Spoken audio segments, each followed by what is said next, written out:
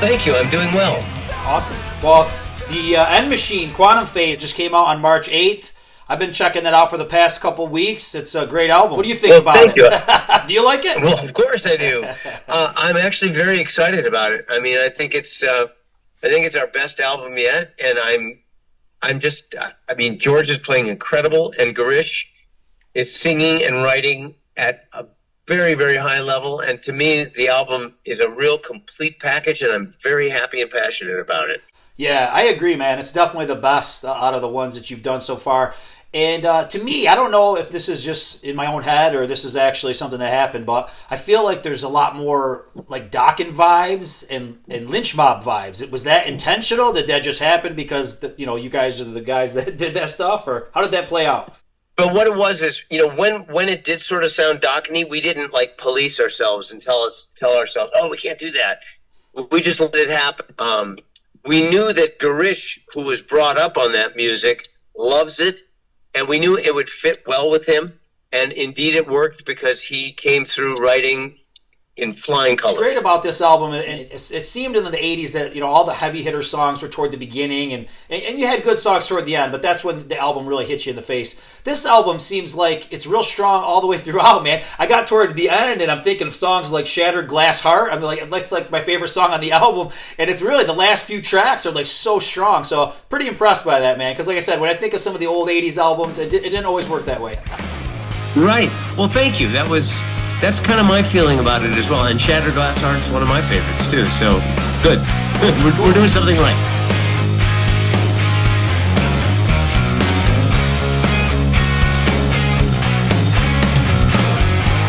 Do you know how it feels to be the only one in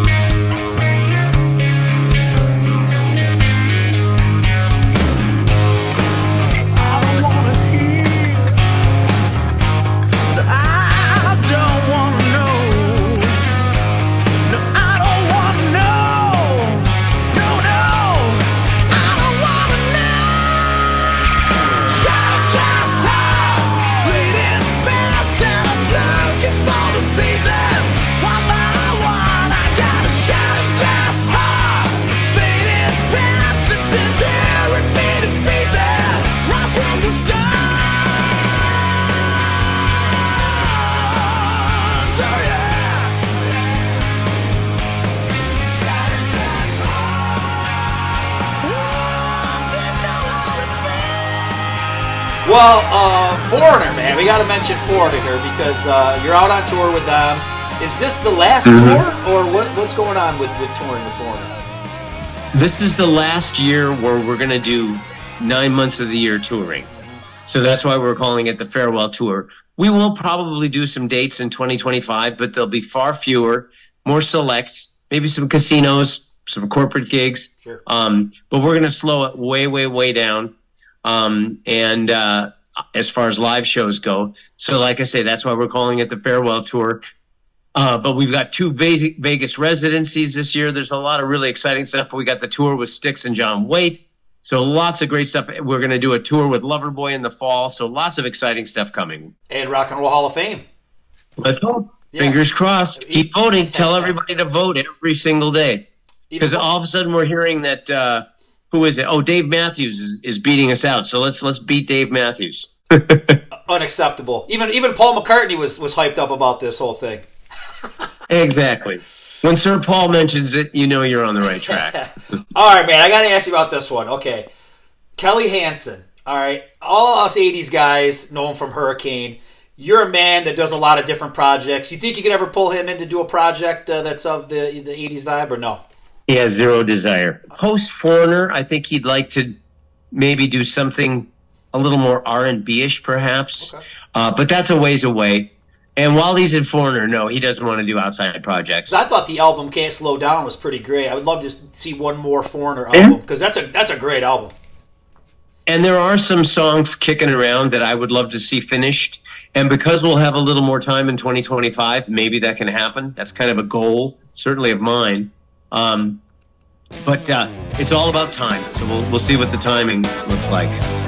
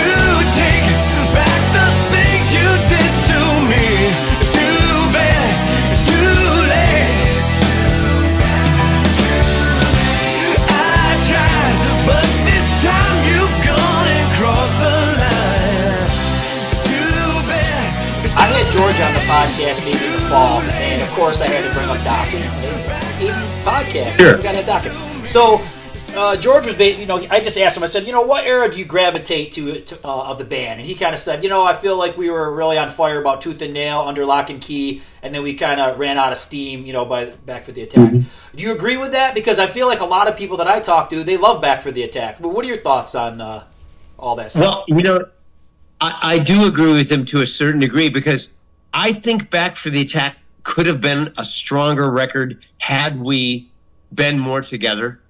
But we were very separated by then. Um, a lot of bad feelings going around.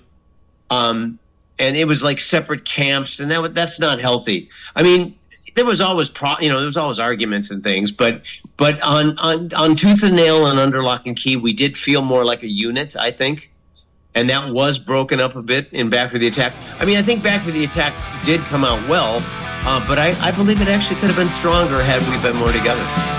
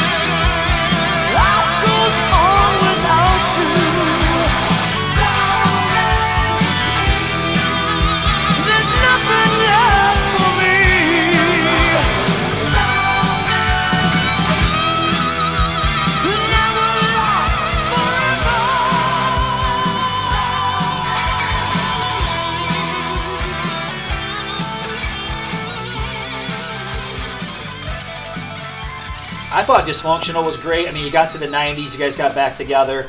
I guess one album that's a strange one, and I don't know if many people ask you about it, is uh, Shadow Life. Shadow Life. Shadow Life, yeah. Yeah. What? So here's let me hit you with a couple things. What was going on with the direction of Shadow Life, and talk a little bit about CMC Records because I think that's a topic that doesn't get mentioned enough. It was a home for bands from the '80s. So thoughts on Shadow Life Right. and CMC? What, what do you think? Well, you know, Shadow Life again was a situation where we were very separate and very, you know, th- there was a lot of miscommunication within the band.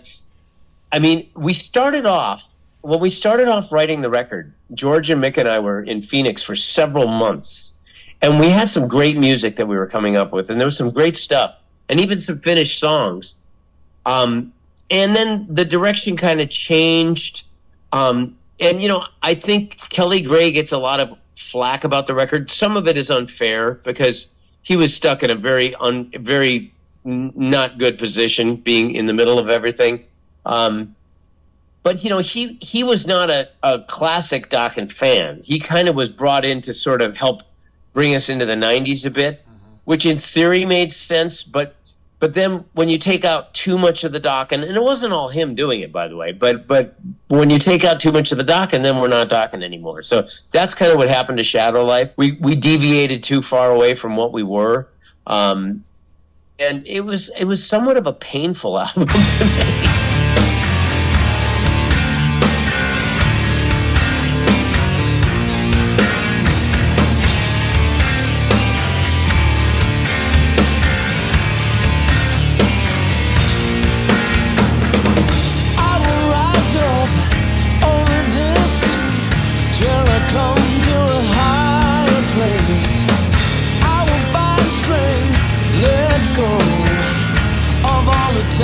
Ties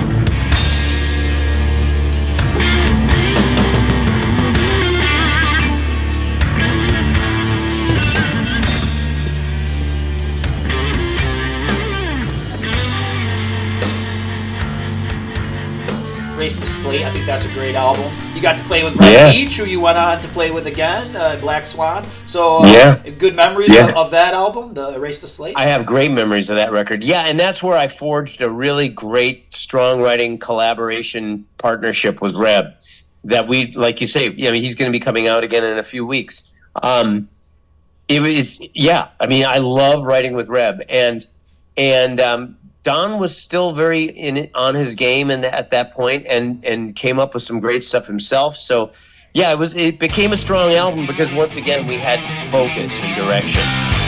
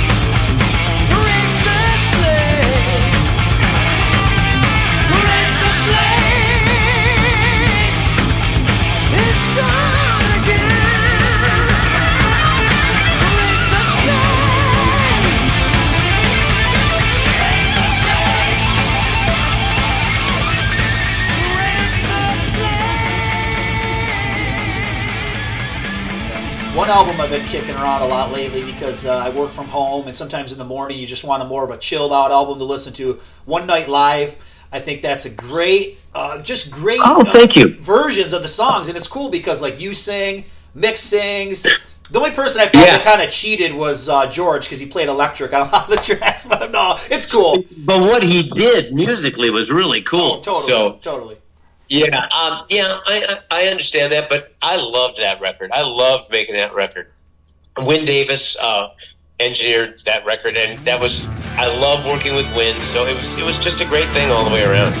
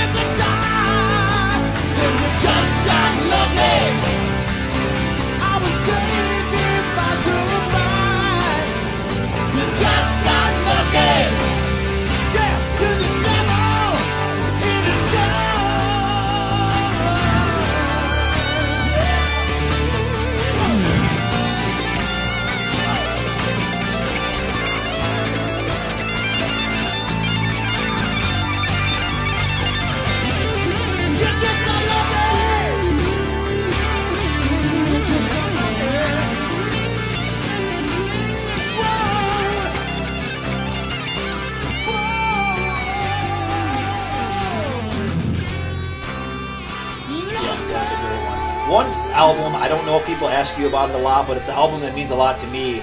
Is uh, Dio, Strange Highways.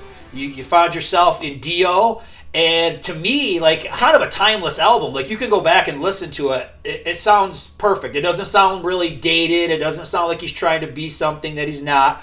Uh, talk about Strange Highways a little bit, man, because like I said, I think that's killer stuff. Well, thank you. I mean, yeah, you know what's funny is over the years, people have come to appreciate that album much more, um, and it's it's aged very well, like you say.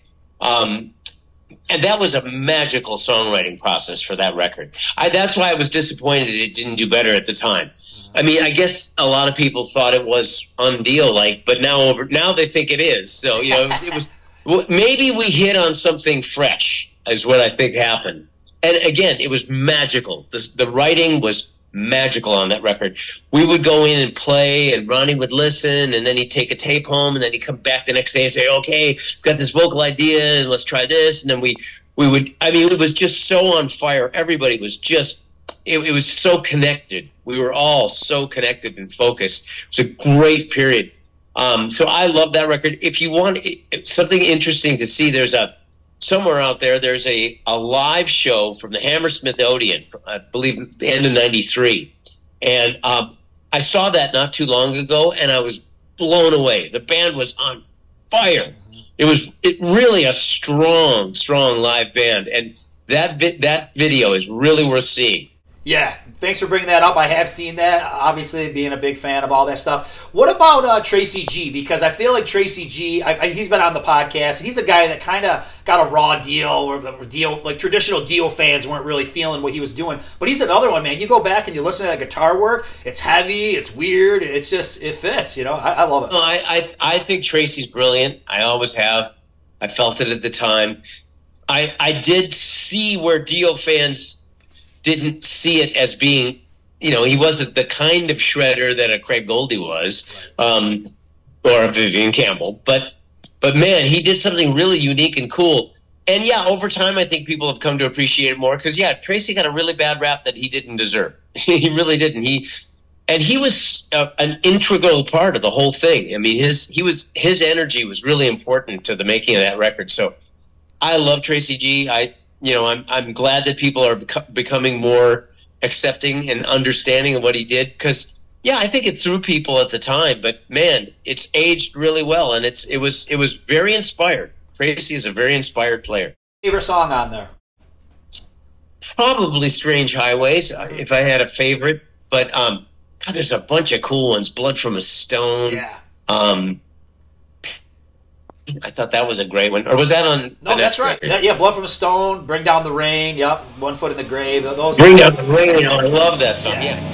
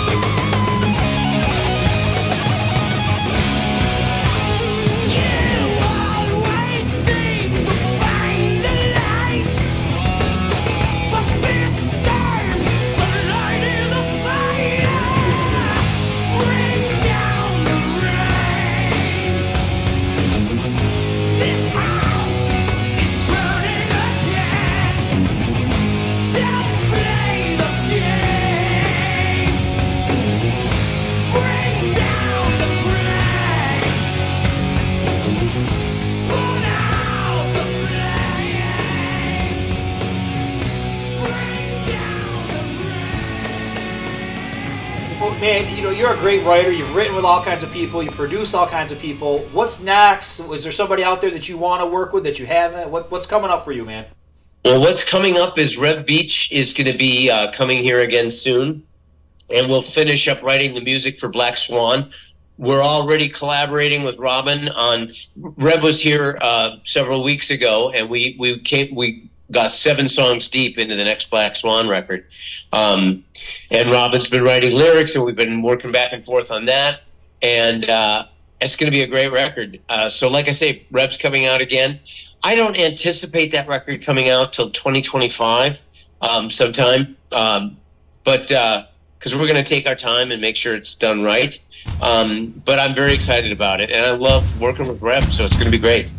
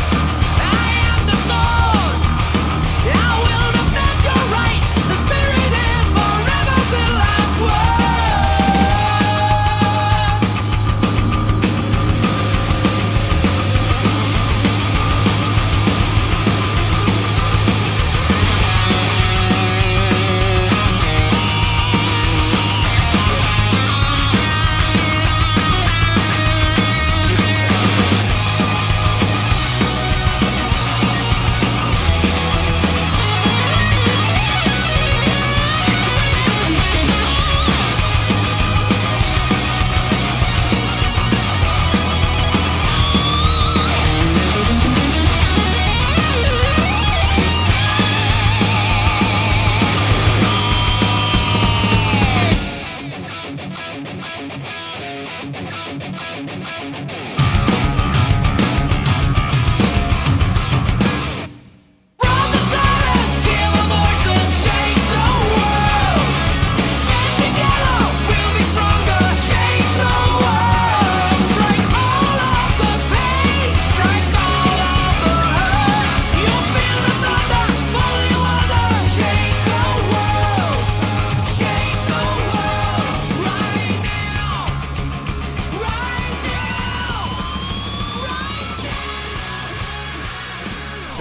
Well ever run dry? Because it seems like you just keep going and going and going. Where do the ideas all come from?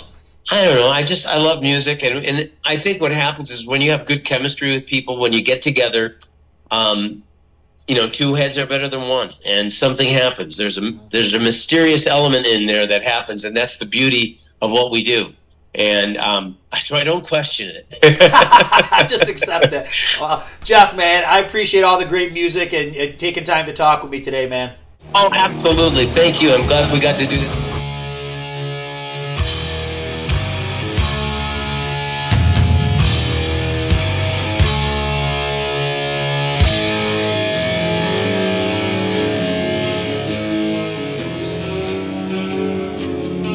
You weave your spell, your eyes they beckon me.